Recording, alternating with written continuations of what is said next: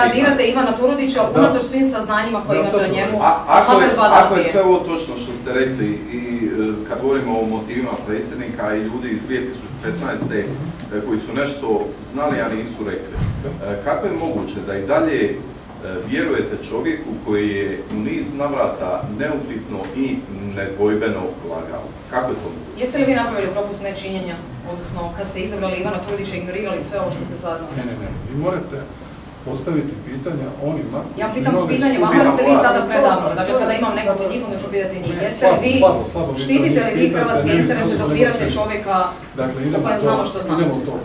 Ja na hipotetska pitanja ne odgovaram.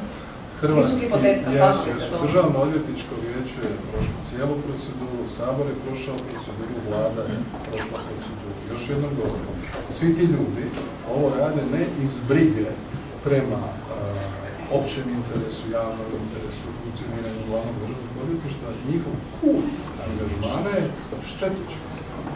To ne prihvaćam. Koji je vaš interes kad birate Ivana Turudića unatoč svemu onome što znate zato o njemu? je- Zato što je bio najbolji na ovome, a budući A da ovi nisu reagirali, kako je rekao vaš kolega, prošlo Vjerujete li mu?